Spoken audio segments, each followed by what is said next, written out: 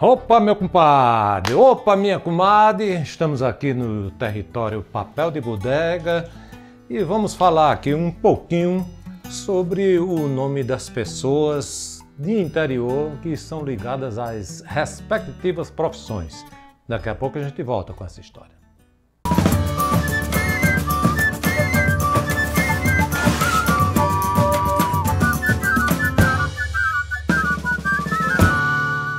Bom, a história do, do, nome das pessoas tem um apelidozinho que geralmente é ligado às profissões. Muitas delas são pessoas assim, enfermeiras. Fátima da vacina, né? É, Maria enfermeira. Aí depois tem João do tempero, camarada que vende tempero. Mané do queijo, João da padaria. Chico Ferreiro, Zezinho funileiro e por aí vai. Então é difícil a, a, as pessoas não, não terem essa ligação com a sua atividade. E tem uma história interessante lá em, em Palmares de seu Amaro. Seu Amaro, ele era um, uma pessoa assim que vivia sozinho, morava numa, num quartinho pequenininho, ele só. Uma mulher dava de comer a ele, essa coisa toda, e ele tinha um tabuleiro onde ele pegava esse tabuleiro, ele ia lá para uma ruazinha perto da, da, da, do Meretriz e ali ele vendia umas pinhas e tal, e ele era conhecido por seu Amaro das Pinhas.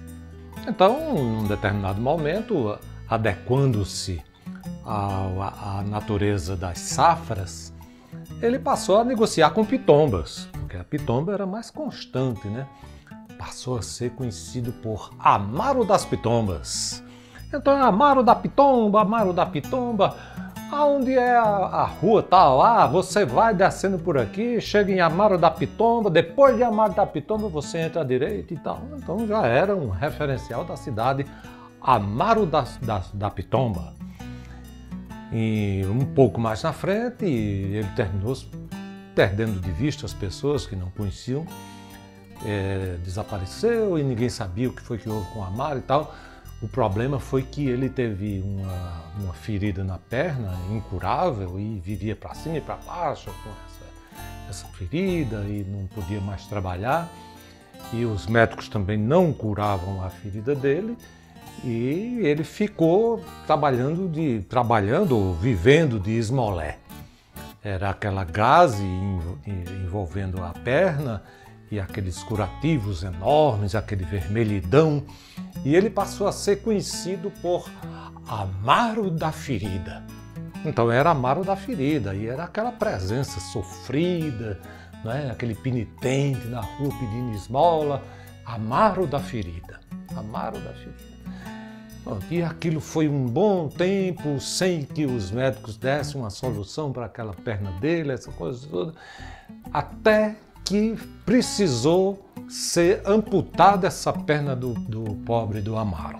Amputaram a perna dele um pouco abaixo do joelho e naquele canto onde ele começou a negociar com aquele tabuleiro de pinha, um pouco depois que ele amputou a perna, quem quisesse chupar pitomba ia naquele mesmo lugar e procurasse Amaro Cotó procura Marucotó e compra pitomba e faz a sua festa com essa pitomba. É isso aí, compadre velho. Se o compadre gostou, espalhe esse boato, passa para frente que são histórias verdadeiras de interior. Alegria, abraço e bola para frente e aperta no pitoco. Essa história é verdadeira.